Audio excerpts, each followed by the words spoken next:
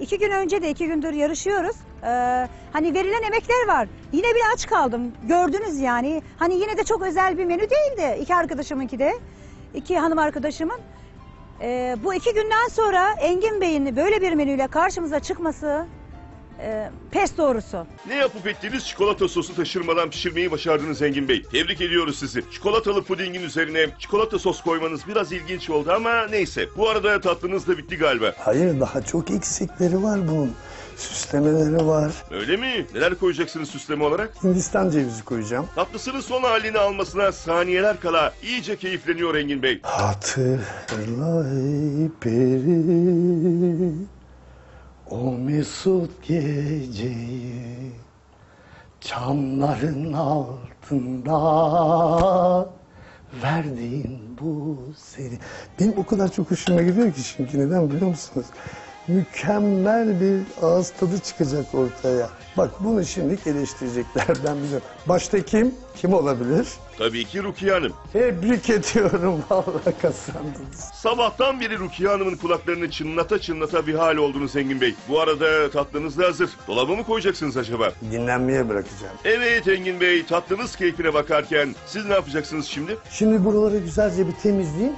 Sonra paçanga böreğine gireceğim. Ama temizlemeden kesinlikle bir iş yapmam. Temizliğini yapan titiz yarışmacımız paçangadan önce tarhanasını ocağa koymaya karar veriyor. Peki çorbaya başka bir şey ilave edecek misiniz acaba? Hayır, içinde hepsi mevcut. Bu arada neden tarhana çorbası yapmayı tercih ettiniz Engin Bey? Kış aylarında ve kış aylarında olduğumuz için özellikle bütün herkesin bildiği, bütün sofralardan kışın eksik olmadığı tarhana çorbasıdır. Bence e, basit bir menü ama bir erkek için e, yapılabilecek en kolay menü diyebilirim size.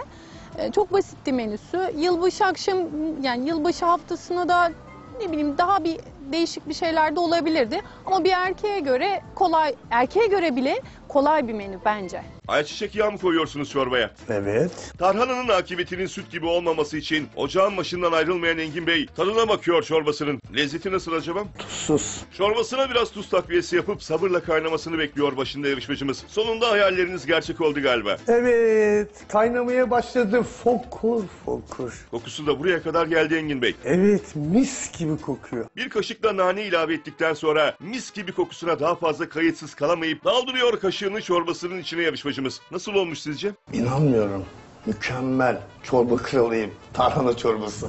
O zaman biz de size bundan sonra tarhana çorbası kralı diyeceğiz Engin Bey. Bu arada kaşla göz arasında tatlınızla çorbanızı bitirdiniz. Evet. İki işlem yaptım. Bu eldivenler artık çöpe. Bu ne titizlik böyle Engin Bey. Sizi canı gönülden tebrik ediyoruz. Ben işletmeciyim. Temizliğe çok önem veriyorum. Aynı zamanda sanatçıyım. E, halkın huzuruna çıktığım vakit gerek kıyafetlerini, gerek hal ve hareketlerini, gerek dilinle, gerekse sesinle dikkat ederler. Yeni eldivenlerinizi de taktığınıza göre şimdi ne yapacaksınız acaba? Şimdi paçanga böreği yapmak istiyorum. Bir balık sofrasında paşanga böreği olmazsa olmaz tabii. Bu arada isterseniz o eldiveni daha fazla çekiştirmeyin Engin Bey. Eyvah! Bende kabahat değil. Hemen atarım gerisi var. Stone'dan hemen yeni bir eldiven alıp takan yarışmacımız açıyor yufkalarını. Peki paşanga böreklerinizi ne zaman kızartmayı düşünüyorsunuz acaba? Bunları misafirlerim geldiği zaman kızartacağım. Çünkü neden derseniz sıcak olması lazım. Biliyorsunuz 2012'nin son yarışmacılarından birisiniz Yemekteyiz Yarışmayı kazanacağınıza inanıyor musunuz? 2012'nin son şampiyonu ben olacağım. İddialı mı iddialı Tarhana Kralı Engin Bey iş yufka kesmeye gelince ne yapacağını şaşırıyor. Tezgahta resmen akrobatik hareketler yapıyorsunuz yufkalarla. Bu iş sizi epey zorladı anlaşılan. Zaten fazla da yapmak istemiyorum. Neden biliyor musunuz? Neden acaba? Çeşitlerim var, balığım var, mevsim satılarım var. Kesinlikle Rüya Hanım bugün doyacak. Yine dün bende doyduğu gibi bugün orada da doyacak. Çünkü balığı, salatayı çok seven, e, beyaz eti seven bir hanım.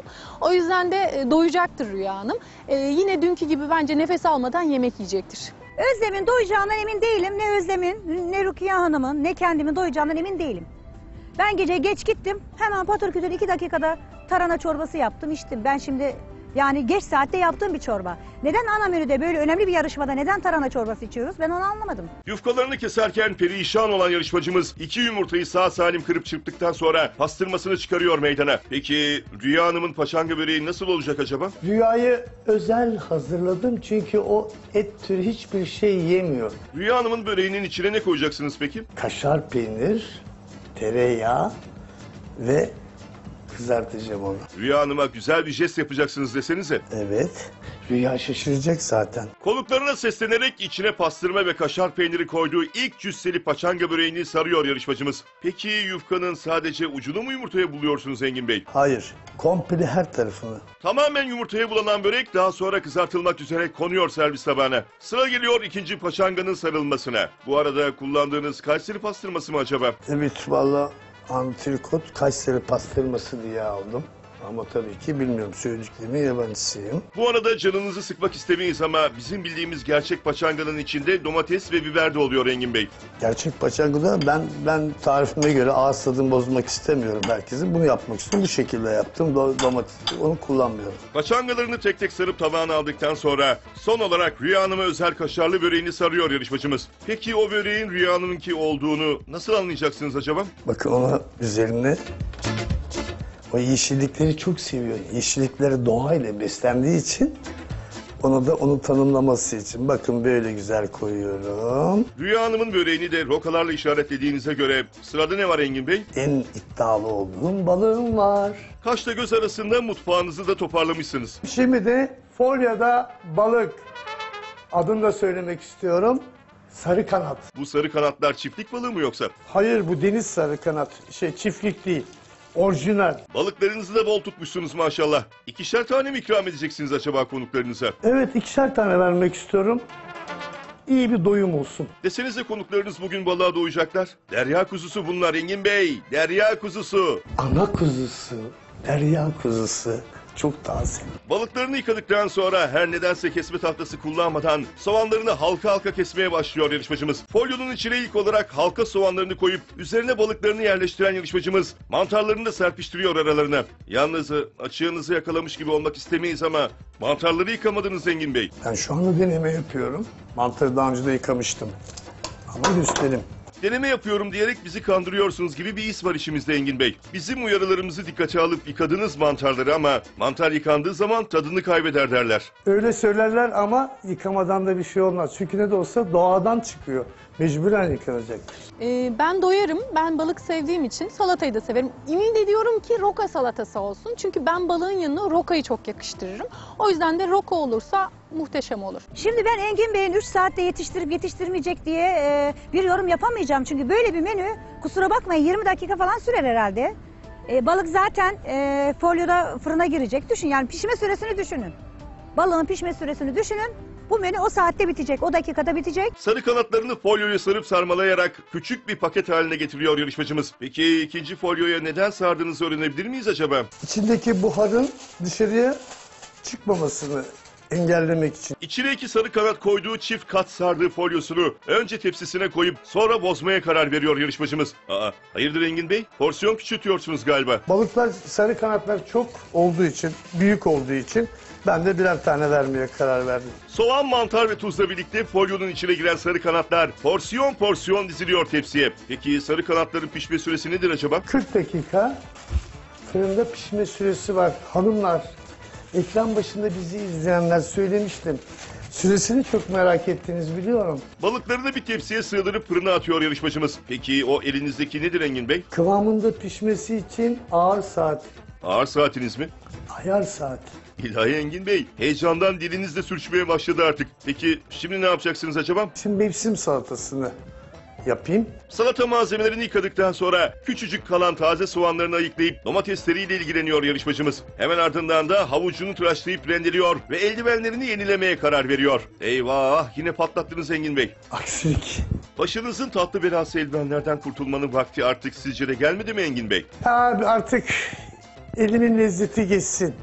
Salatayı ellerimle yapmak istiyorum. Salata tabağına avuç rendesini koyduktan sonra kıvırcıklarını elinde doğrayan yarışmacımız rokalarını da bütün bütün koyuyor. Oldukça farklı bir mevsim salatası oldu doğrusu. Bu da benim farkım. Taze soğanlar ve turplarla süslenen salata her geçen dakika daha da çılgın bir görünüme kavuşuyor. Bu arada sosunuzu ne zaman koymayı düşünüyorsunuz acaba? Misafirler gelince kullanacağım. Son rötuşlarınızı da yaptığınıza göre artık salatanızı görücüye çıkarmaya hazır olmalısınız Engin Bey. İşte mevsim salatam bitti. Ellerinize sağlık Engin Bey. Peki şimdi ne yapmayı düşünüyorsunuz acaba? Şimdi yemeğimi bitirdim, her şeyimi yaptım, hazırladım.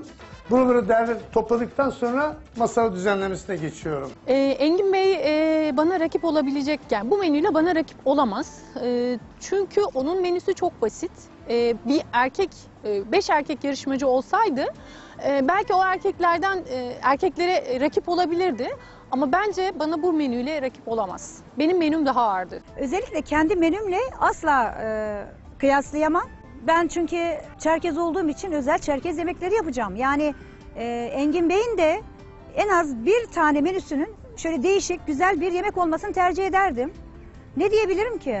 Üzüldüm yani, üzgünüm şu anda, çok üzgünüm. Üzerini değiştirir değiştirmez soluğu salonda alıyor yarışmacımız. Bugün de çok şıksınız Engin Bey. Evet her zamanki halim biliyorsunuz ki daha bugün daha da şık olacağım. Çift kat örtü serdiği masasını yılbaşı haftasına yaraşır kırmızı runner'ıyla süsleyen yarışmacımız çıkarıyor tabaklarını da. Bu tabaklarda yarışmaya özel mi alındı yoksa? Hepsi özel. Tabakların ardından salata kaselerini ve bardaklarını masasının etrafında dört dönerek yerleştiren yarışmacımız yılbaşı için tasarlanmış peçetelerini de getiriyor. Oo bakıyoruz masanızda bir tanecik kırmızı gül olacak bu akşam. İsterseniz onu da Rukiye Hanım'a hediye edin Engin Bey. Evet. Tebrik ediyorum. Onu düşünmüştüm zaten. Kızmasın bana. Masasını gül yapraklarıyla süsleyen yarışmacımız çatal bıçaklarını da yerleştiriyor itinayla. Hemen ardından da salatasını getirmek için gözden kayboluyor. Sosunuzu da getirmişsiniz anlaşılan. Evet salatanın sosunu getirdim. Engin Bey'in e, masa düzeni muntazam olacağını hiç zannetmiyorum. E, çünkü şovun derdinde olduğu için bize iki tabak, iki tane bardak koyup belki de bir bardak da koyabilir. Yani ayran içersiniz yeterli bu da size modunda. Çünkü e, e, bana çok muntazam bir masa göreceğimi zannetmiyorum. Hani e, diğer akşam, e, dün akşam mesela benim e, gecemdeki masa düzeni gibi Özlem Hanım'ın da masa düzeni çok güzeldi. Hoştu, göze hitap ediyordu. Ama Engin Bey'den bunu beklemiyorum. Bu menüyü gördükten sonra hiç beklemiyorum açıkçası. Turşusunu da masasının ortasına koyduktan sonra tamı tamına 6 çeşit ekmekle dolu ekmek sepetini servis masasına alıyor Engin Bey. Evet, ne durumda acaba masanız? Evet benim masam da artık düzenlendi. Bu da benim. Ben hediyelere çok önem veriyorum. İşte bakın hediyem burada. Bu benim oğlum Eray Er. Bu da eşim. Bu da eşim. Ben onu hemen buraya hediyelere verdiğim değere göre buraya koyuyorum. O dün Özlem Hanım'ın verdiği maske öyle değil mi? Evet Özlem'in verdiği maskeyi de hemen böyle evimin baş köşesine koydum. Özlem Hanım bu jestinize bayılacak doğrusu. Şimdi ben size kısaca evimi tanıtmak istiyorum. Bu minik gezi için şimdiden sabırsızlanıyoruz Engin Bey. Gri kadife koltuklar üzerinde yaptım. Hele de benim bu akşamki yılbaşı üzeri çok değerli misafirlerim ve konuklarımla yılbaşı ağacım. İşte gördüğünüz gibi her yer pırıl pırıl olarak lanse ettim.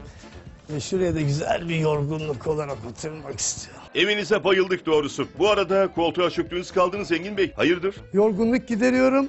Gelecek olan asil misafirlerimi bekliyorum. Haftanın üçüncü gecesinin ilk konuğu Özlem Hanım oluyor. Acaba kim ilk yarışmacım? Aa, Merhabalar. hoş geldin. Hoş Nasılsın? bulduk. Çok Buyurun. teşekkür ederim. iyiyim. Buyurun, hoş geldiniz. Özlem hoş geldin. Hoş Nasılsın? bulduk, çok Hemen alayım. teşekkür ederim. Lütfen böyle buyurun. Teşekkür ederim. Gecenin ikinci konuğu Onur Bey de geliyor. Kim bu? Oo, Onurcuğum. Şerefler verdin. Hoş geldin. Nasılsın? Teşekkür ederim. Hoş Onur Bey hoş geldiniz. bulduk. Nasılsınız? İyiyim. Siz? Teşekkürler. Onurcuğum nasıl? Yolun bulabildin mi? Evet, rahat rahat. Özlem sen? Ee, rahattı. Bugün de t- Aa, trafik çok de güzel. yoktu. Engin Bey'in üçüncü konuğu Rüya Hanım oluyor.